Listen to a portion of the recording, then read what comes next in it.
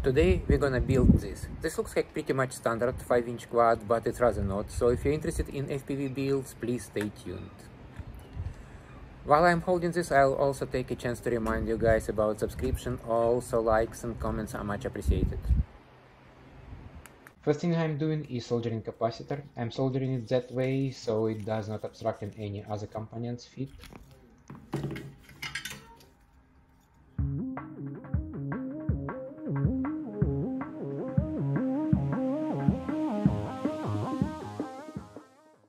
Next I'm soldering XT60 pigtail, but the parts are quite large on this ESC, so ideally you need a soldering iron with big tip. I unfortunately don't have um, any, so I had to use my soldering iron and small tip and make it as hot as possible. This is how it looks after all the soldering.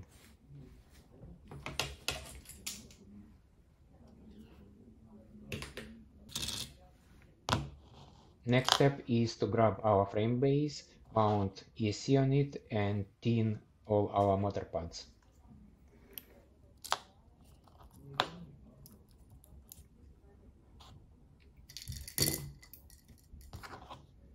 Make sure you installed ESC correctly. Uh, currently I'm pointing where M1 pads are.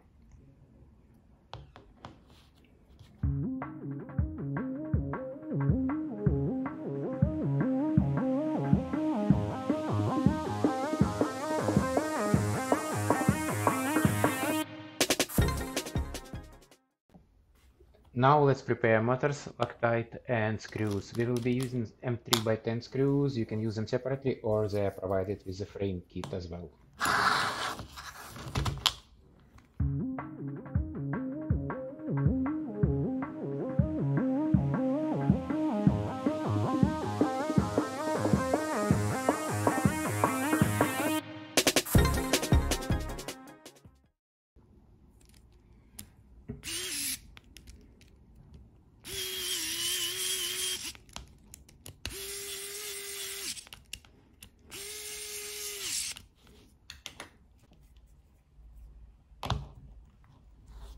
This is what we've got so far.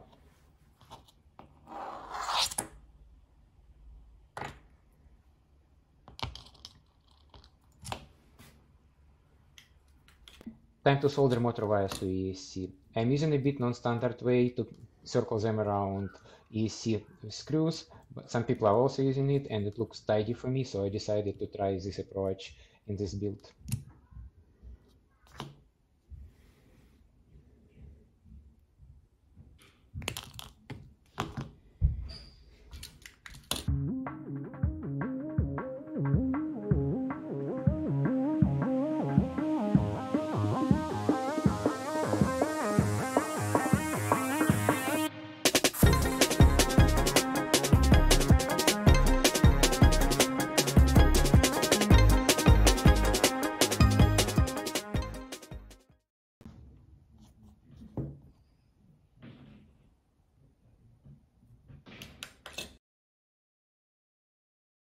Next step would be to mount our flight controller on top of ESC, connect both ESC and flight controller with the cable provided with the stack, and we will test our motors with smoke stopper and Betaflight.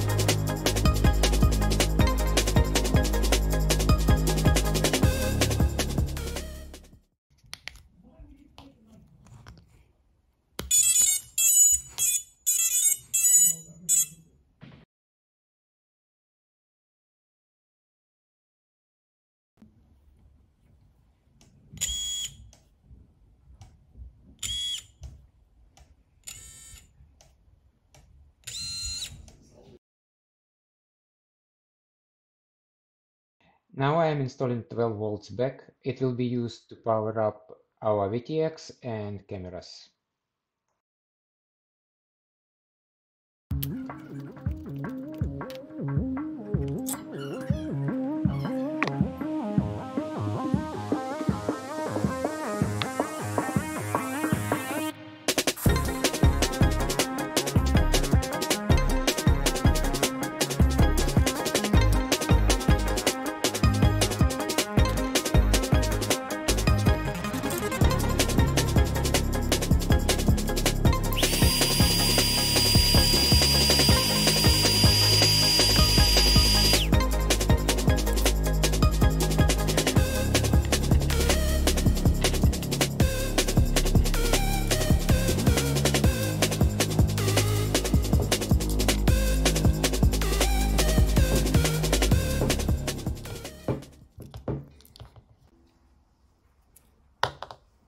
Now we will do something unusual.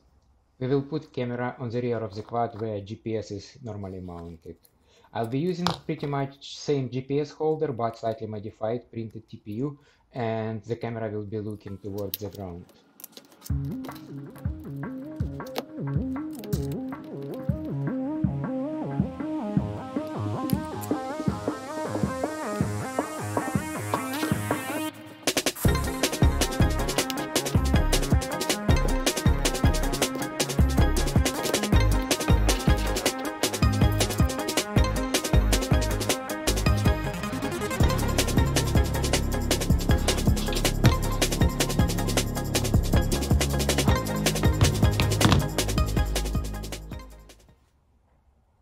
Next I'm installing VIFLY camera switcher. I have a separate video what that and how it works, see card on top of the video.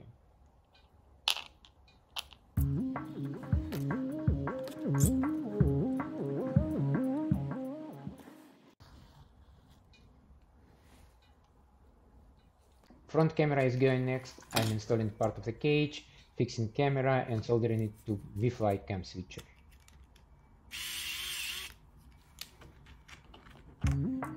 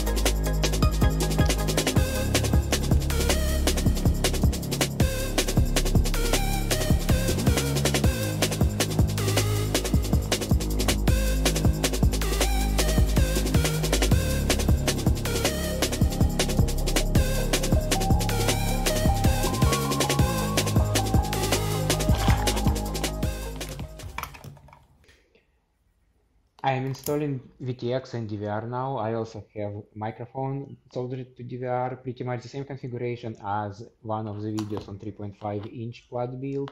I'll have a card on the top of the video. Before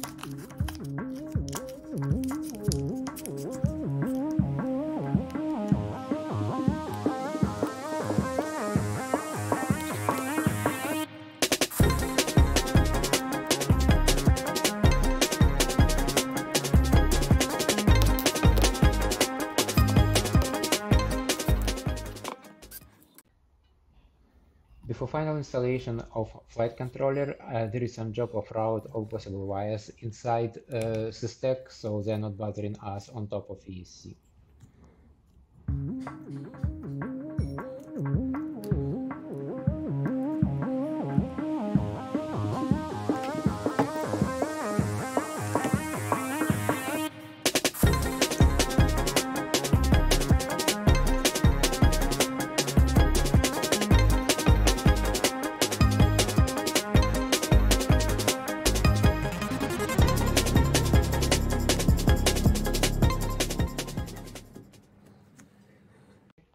In the queue is ELRS receiver soldering.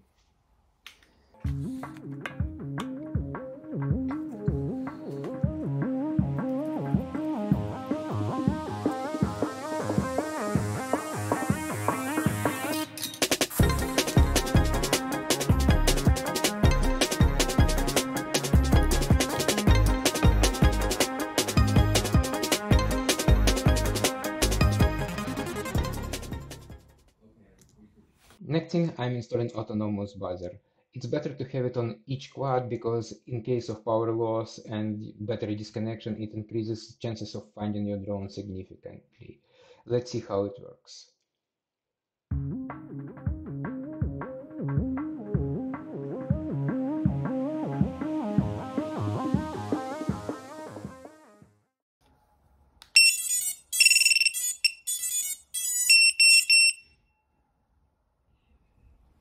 Now I'll disconnect battery.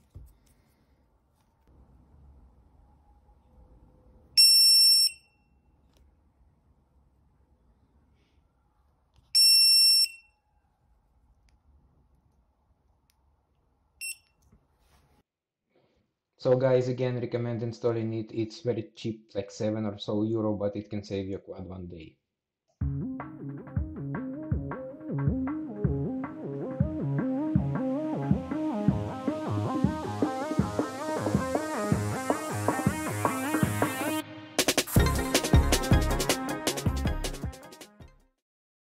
Time to install VTX antenna. I got a couple of iFlight Albatross antennas, so trying one on this build.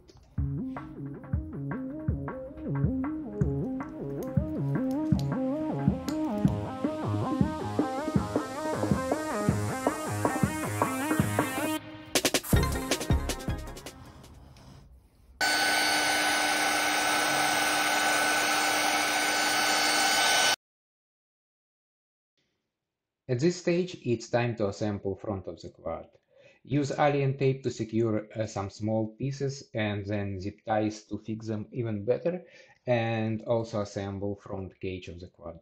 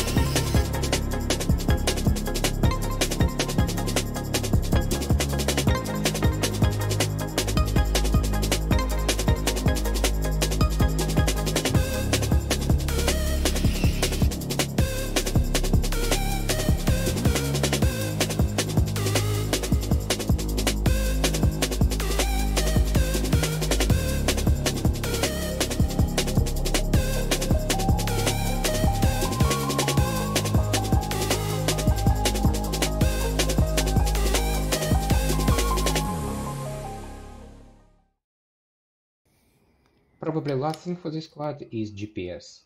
I'm using GEPRC M10DQ GPS module and I'm installing it on a GoPro place. I like this place most of all because it, it's less interference with VTX antenna and back of my quad is already taken by the camera.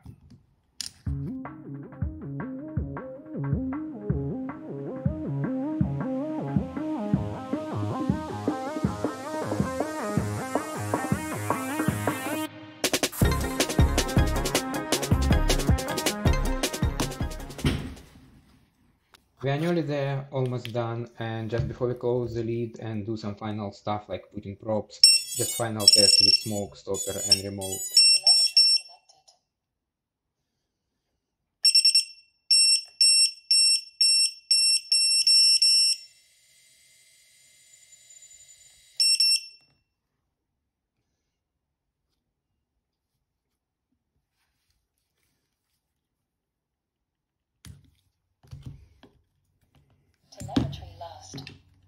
And one of the final things I'm always doing with my quads is to use mechanical tape and then electrical tape to secure wires on the arms.